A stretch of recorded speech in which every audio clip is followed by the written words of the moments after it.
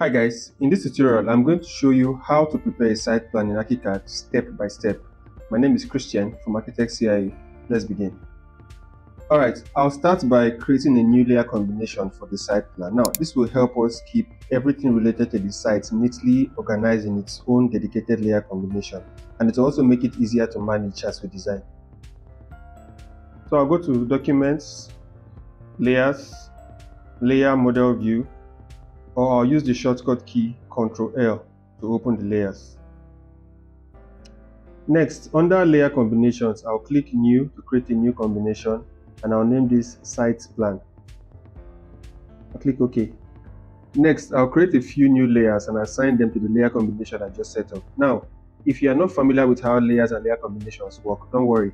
I have a tutorial that explains everything in detail. Just click the video that popped up at the top right corner of your screen and I'll also leave a link in the description for you to check it out.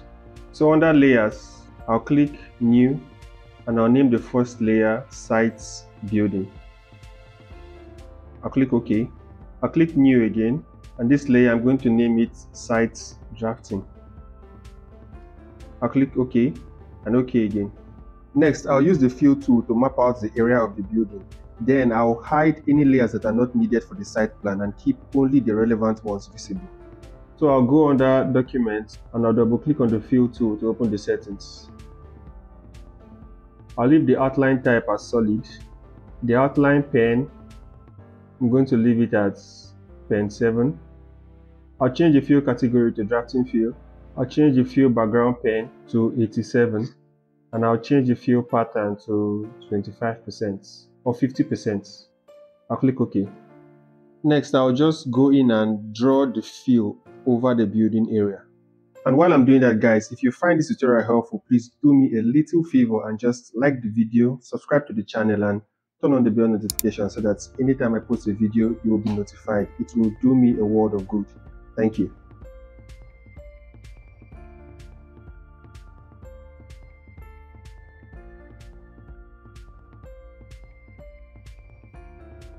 Next, I'll select the fill I just drew and I'll go up here and change the layer type to site building, one of the layers I created. I'll also select all the lines I drew for the sites and I'll assign them to the other layer, site drafting. Next, I'll open layers again and I'll make sure the site plan layer combination is selected. In under layers, I'll click select all to select all the layers. I'll click on this eye to hide all the layers. Then I'll click deselect all. Next, I'll look for all the layers I need for the site plan and toggle their visibility by clicking on the eye icon. So I'll scroll down and look for site landscape. I'll make it visible. And I'll also make site building and drafting visible. I'll also make the structural grid visible. And I'll go and look for dimensioning sites and I also make that visible. Now under layer combinations, making sure that the site plan is still selected, I'll click on updates to update the site plan layer combination. Then I'll click OK.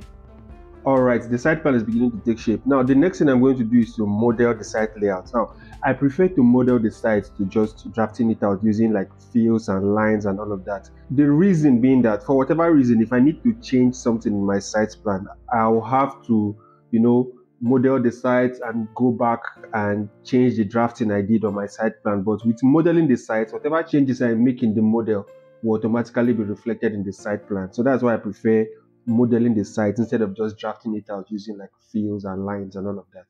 So I'll go to design and under design, I'm going to double click on the mesh.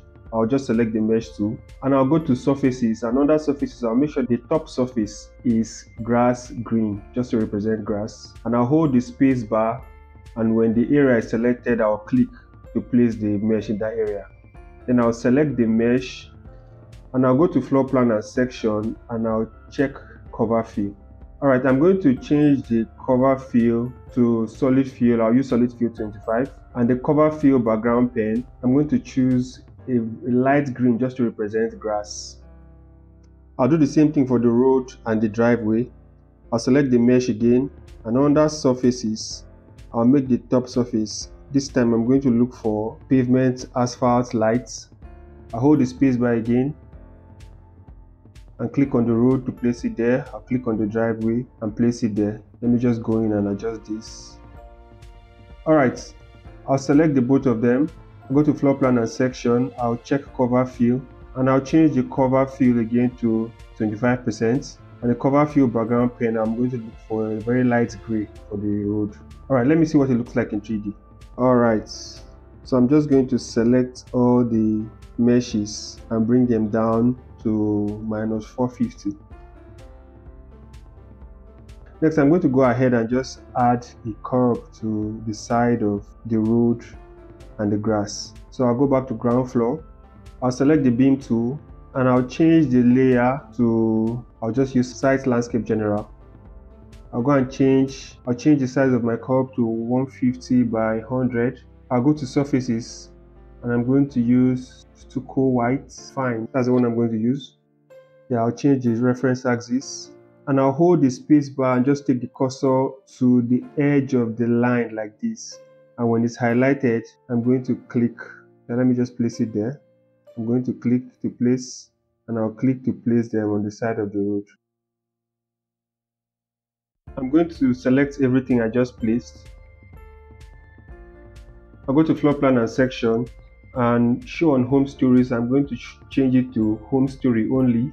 And under elevation to home story I'm also going to make it minus 450 let me see what it looks like in 3d all right this is nice. I like it all right I'll go back to floor plan. Now with all this done I can now go ahead and add all the other information that will be necessary for a site plan. You know I can add dimensions I can add text and all of that. All the while making sure that they are placed under a visible layer. Alright, I'm going to select my dimension tool and I'll just go in and start placing dimensions. Now you see this notification that popped up. Is just trying to tell us that our dimensioning tool is placed under a hidden layer. So what I'm going to do is to place it under a visible layer. So I'll click on choose layer and under layers in our dimension settings, I'm going to look for dimensioning site. Yeah, I'm going to click on that to place it and I'll click OK. Now I'll just go in and place this dimension here yeah, it's a little too small so I can just click on the dimension I'm going to change the size to say 5 alright now I'm just going to go in and place a few more dimensions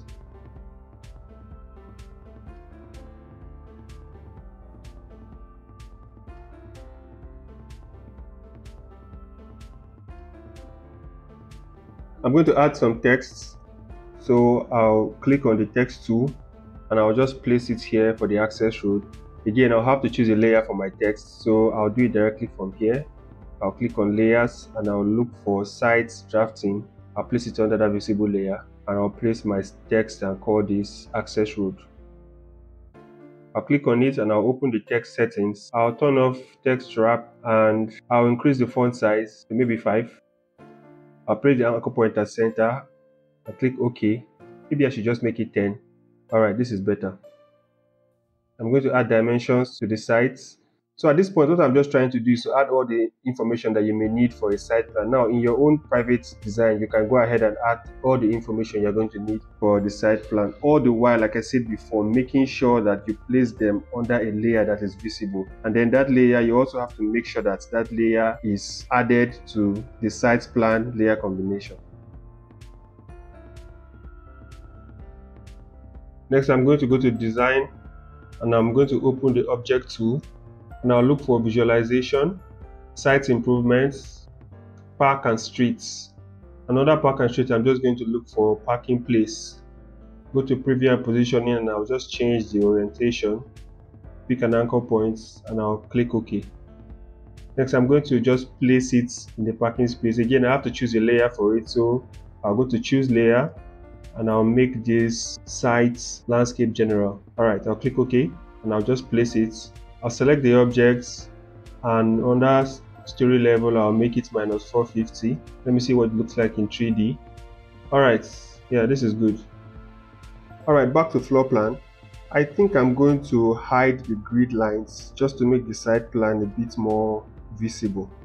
So I'll do Ctrl L to open layer settings again and I'll look for structural grid now make sure site plan layer combination is selected and I'll just click on this eye to make it hidden and I'll click on updates and I'll click OK.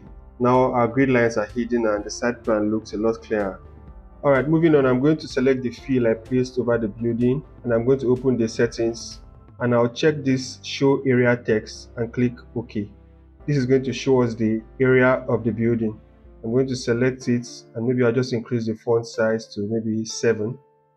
Okay, now you see the area is showing in millimeters, but I want it to show in meters. So what I'm going to do is I'm going to go to options, project preferences, dimensions. Next, I'm going to make sure the area dimension is selected. I'll change the unit from square millimeters to square meters. And the decimals, I'll just make it two decimal places. Next, to store it, I'll click on store as, and I'll just name it architect CIA to store it as custom. I'll click OK. I'll click OK again. Now the area has been changed from millimeters to meters.